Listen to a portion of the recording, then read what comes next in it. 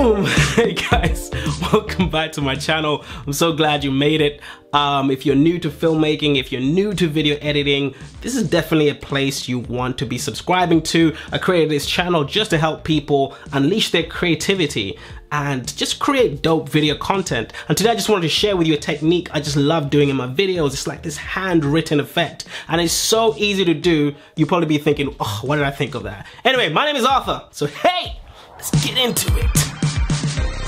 Now this is one of my favorite effects to do because it's just so easy and it's not limited to your imagination. Now the one thing you will have to be doing is recording your screen for this, okay? So once you're recording your screen, jump into Photoshop. All right, in Photoshop, we wanna create a new document, but we wanna set up a background color from white to this nice green over here. We're gonna press create. Now the second thing we're gonna do is we're gonna create a new layer over here, bottom right. This is gonna be the layer we're gonna be drawing on. But we wanna make sure that we got a brush tool selected. Make sure you're on white. And what we're gonna do is we're just gonna expand the screen. Um, on your keyboard, if you press the tab button, it'll get rid of all the, all the panels on the left. So you have a nice, clear view. I've just zoomed all the way in now. Now I'm gonna start my drawing. So for me, it's just gonna be my signature. Boom. And give it a little X, a little hug. Yeah. Now this is where having a drawing tablet comes in handy. It just speeds things up. So if you haven't seen my video on how you can use a drawing tablet to do your video editing, do check that out. I'll put a link below in the description. But for now, you wanna stop your screen recording and you wanna import that file into Premiere Pro. So now I've imported the screen recording into a project I wanna work on in Premiere Pro. I'm gonna double click it over here and it's gonna open up here in my source monitor. From here, I just want to select where it actually starts. So I'm to set an in point there, press I on my keyboard or use these keys here, and I'm to find out where it stops. There. I'm to set a, an out point right there. I'm to drag that section in on top of my video. All I can see here is green.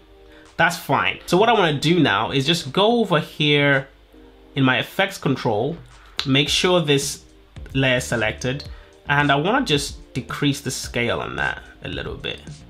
Great, move it to the left where I want it, awesome. Click this pen tool, and I'm gonna draw a mask around it, okay? Just so it gets rid of everything else but the writing. The next thing I wanna do, I wanna go over here in effects, I'm gonna write Ultra key. There you go. You press Ultra and you're gonna bring up this Ultra keying effect. I'm gonna drag it, I'm gonna drop it onto that layer. Okay, Awesome. I'm gonna go over here. I'm gonna click this eyedropper tool over here and I'm gonna click on the green. Now that's taken out all the green for me. Now I'm just left with this. Awesome. All right. But that's going a bit too slow for me, so I'm gonna press Control R on my keyboard, and that's gonna bring up my speed. I wanna reduce the speed here to about maybe three seconds. As you can see, uh, I'm gonna press OK. Let play that back, play that back again. Boom. And that's pretty much it. Now I can change the color of this to any color I want. So I'm gonna go over here, I'm gonna go back into my effects panel. I'm gonna write tint. Okay, I'm gonna bring up my color correction. I'm gonna drag that on top of that layer as well. And now I can just tint tint this to any color I want. I'm gonna press here on the white and let's say let me go for maybe purple nice and funky yeah something like that let me try that